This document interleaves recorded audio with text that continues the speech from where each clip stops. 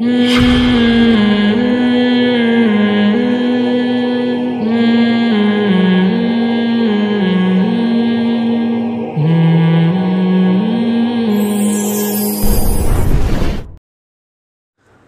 भाई मुफ्ती साहब, हमें, अल्लाह ने हमें ऐसे दौर में पैदा किया है जिसमें नज़र की हिफाजत करना बहुत मुश्किल है। हम क्या करें?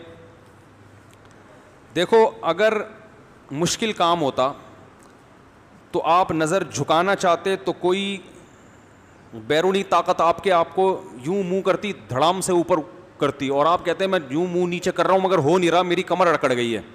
फिर आप कहते कि गर्दन झुकाना भी मुश्किल और नज़र झुकाना भी बोलो भाई, मुश्किल। देखो, जो नज़र की हिफाजत करने वाले होते हैं ना, जितना गंदा माहौल हो या अच्छा माहौल हो, उनकी सेहत पे कोई फ़र्क नहीं पड़ता। जो ठरकी होगा 24 घंटे में एक औरत नज़र आएगी, उसको भी देखेगा। बल्कि ज़्यादा घूर के देखेगा कि सुबह से कोई ग्राहक नहीं मिला। जब ये लॉकडाउन हुआ था लॉकडाउन एक मुझे मछली वाला नज़र आया, अपनी टोकरी में मछली लेके साइकिल पे घूम रहा है। सब बंद कर दिया गवर्नमेंट ने। मैंने उससे पूछा, खैरियत, तुम अकेले कैसे घूम रहे पुलिस वालों ने पकड़ा नहीं? कह रहे, पकड़ा था, पुलिस वाले ने बोला, यार, सुबह से एक कस्टमर भी नहीं आया, पाँच सौ रुपये दे दे, नाश्ता भी नहीं किया हमने। पाँच सौ रुपये दे दे, नाश्ता भी नहीं किया और निकल लें यहाँ से। कह रहे मैंने पाँच सौ रुपये दिए, अब मैं गले मैं आराम से मछली बेच रहा हूँ। तो ठरकी आदमी को सारा दिन में एक औरत नज़र आएगी, उसको देखेगा। और जो नज़र झुकाने वाले लोग हैं, वो सैकड़ों गुजर जाए, उनके सामने से ये एक गुजरे, उनकी सेहत पे कोई फ़र्क नहीं पड़ता। उन्होंने ना उसको देखना है, ना उसको कह रहे यार, अल्लाह ने मेरे लिए मेरी बीवी को पैदा किया, ख़त्म। तो ये काम मुश्किल जब होता, जब आप गर्दन झुकाना चाहते और इधर गर्दन में फ्रैक्चर होने का खतरा होता। ये अकड़ जाती गर्दन। सही है ना? जैसे यूँ कर रहे हैं तो वो हो ही नहीं रही। तो ऐसा होता है?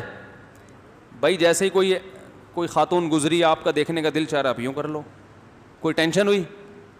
और नज़र झुकाना तो और आसान। गर्दन में तो फिर भी रीढ़ की हड्डी और गर्दन की हड्डी दाएँ बाएँ होने का खतरा होता है। एकदम यूँ किया तो पता चला चुक आ गई ना। पल को झपकने में नज़रों को नीचे करने में तो एनर्जी मेरा ख्याल है, इतनी सी भी एनर्जी खर्च नहीं होती कि जिसे डॉक्टर कोई कहें कि आपकी इतनी एनर्जी यूटिलाइज हो गई है, अब आप छः पराठे खाएँ बैठ के। कि आपने चूँकि पलकें जब नीचे झुकाई हैं तो इतनी ज़्यादा आपको ताकत लगानी पड़ी है कि अब जब तक छः सात पराठे नहीं खाएँगे, आपकी जो एनर्जी सर्व हुई है या यूटिलाइज हुई है, वो अब रिकवरी नहीं हो सकती, ऐसा भी नहीं है।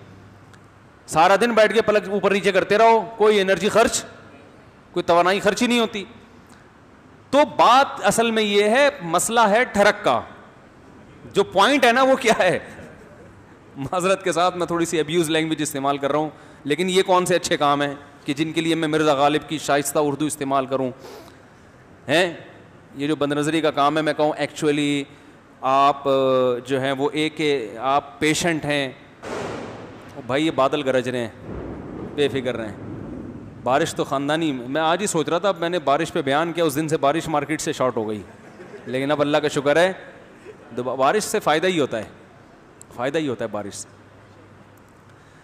वही सब बेहराद बेहमद ही है ना कुरान में, कि बादल की गरज अल्लाह की तस्वीर बयान करती है। अल्लाह की रहमत जब बरसती है तो शान से बरसती है। अल्लाह कहते हैं, हटो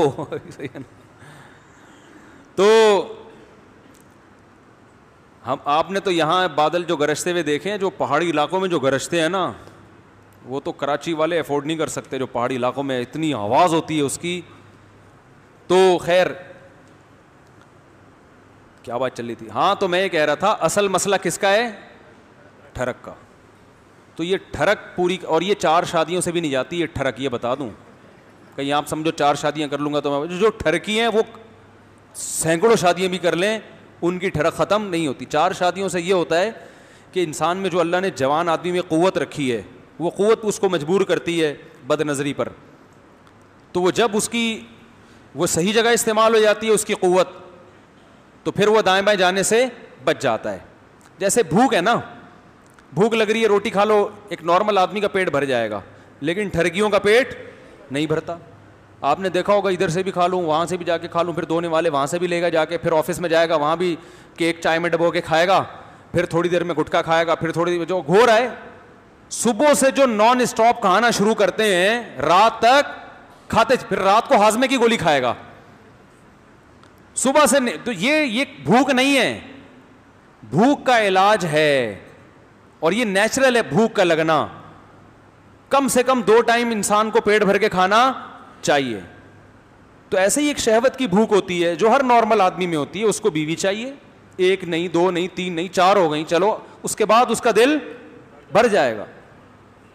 लेकिन जो ठरक है ना, जैसे वो चाय में पाप, पापो, चाय में पापे डबो के खाता रहेगा। फिर थोड़ी देर में फिर उसको पेस्ट्री चाहिए, फिर समोसा चाहिए। एक हमारे जानने वाले, वो बेचारे हार्ट अटैक हो गया, उनको बच गए। उनका यही थी कि सुबह से कभी कोई निवाला छोड़ते नहीं थे। कहीं भी दस्तरखान पे वो कहते हैं, मैं गया, मुझे कुछ नज़र आए तो मैंने कहा, दो निवाले तो बनते हैं। तो दो दो निवाले होते होते वो चालीस, पचास निवाले बन जाते थे। ठीक है ना? तो इसका असल इलाज है बदनज़री का, उस ठरक का इलाज करो। पहला तो ये सुन्नत जो नबी ने बताया, निकाह करो। दूसरा तरीका क्या है? अपने ऊपर जुर्माना रखो। एक दफ़ा भी बदनज़री की तो इतने पैसे सदका करूँगा। और वो हर आदमी की आमदन के लिहाज से गरीब आदमी के लिए पचास रुपये भी बहुत हैं, मालदार के लिए पाँच हज़ार भी कम है। समझ रहे हो? तो जब तक अपने आप को सज़ा नहीं दोगे, जब तक इंसान खुद अपनी ठुकाई नहीं करता, कोई कोई मुआशरा थोड़ी करेगा उसकी ठुकाई तो क्यों अंडी को देख रहा था? एक अब्बा होते तो चलो ठुकाई भी लगा देते अब्बा तो पता नहीं किस खुद ऐसा ना हो के वो क्या बेचारे? वो है ना, एक खातून ने अपने बच्चे से पूछा कि बेटा, जान कैसे निकलती है? तुम स्कूल में क्या पढ़ते हो? उसने कहा, साइंस पढ़ता हूँ। अच्छा बेटा बताओ, जान कैसे निकलती है? उन्होंने कहा, खिड़की से निकलती है। माँ परेशान, ये मेरा बच्चा बातें कैसी कर रहा है। जान खिड़की से निकलती। बेटा, खिड़की से कैसे निकलती है? कह रही है, वो जब आप बाहर जाती हैं ना तो वो आंटी आती हैं पड़ोस वाली। तो जैसे ही जब आप घर में आती हैं ना तो अब्बू कहते हैं, जान, खिड़की से निकल जाओ। मेरी बेगम आ रही है, जान, खिड़की से निकल जाओ। तो तो बच्चे के दिमाग में ये हो गया कि जान कहाँ से निकलती है? खिड़की से निकलती है। तो या तो अब्बा थप्पड़ लगाएँगे, और अब्बा भी अगर जान को खिड़की से निकाल रहे हैं, वो कहाँ से थप्पड़ लगाएँगे? तो बाप कंट्रोल करे, भाई कंट्रोल करे, आजकल कंट्रोलिंग पावर ही खत्म हो गई, फिर 24 घंटे कौन सर पे मुसलत रहेगा? फिर फेसबुक पर यूट्यूब पे तो बहुत ज़्यादा बदनजरी हो रही है। तो मेरे भाई, आखिरत को सामने रखकर अपना इलाज अब खुद ही करना पड़ेगा। कोई और आपका इलाज नहीं करेगा। या आयुन। अल्लाह फरमाते हैं, वो जानता है तुम्हारी आँखों की ख़यानत। और इस ज़माने में नज़र की हिफाजत का सवाब भी बहुत है, क्योंकि निगरानी करने वाला कोई नहीं है। तो अल्लाह कह गए सिर्फ़ मेरे खौफ से कर रहा है।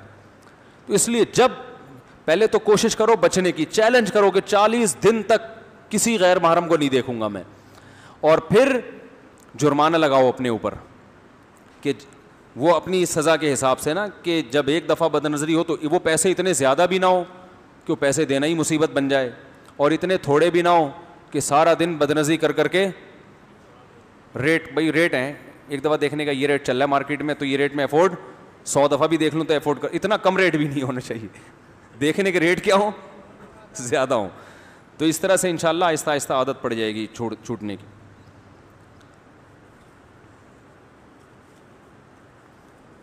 जो बैरून मुल्क सफ़र करते हैं ना, वहाँ ज़्यादा ख़तरा होता है तो बीवी को साथ लेके जाओ। सही है ना? वो निगरानी करेगी। जहाँ जहाँ जा रहे हो, साथ लेके जाओ। वो ऐसी निगरानी करेगी कि आपके वो तो जहाँ नज़र की हिफाजत फ़र्ज़ नहीं भी है, वहाँ भी करवा देगी। ठीक है ना? तो ये भी एक बहुत बड़ा ज़रिया है। मुफ्ती साहब ये बताएँ कि अगर नमाज़ कज़ा हो जाए तो इसको पूरा करने के साथ सुन्नत मौक़ भी पढ़नी चाहिए। नहीं, सिर्फ़ फ़र्ज़ और वाजिब पढ़ें। फजर की सुन्नत अगर छूट जाए तो किसी और टाइम सूरज निकलने के बाद पढ़ सकते हैं।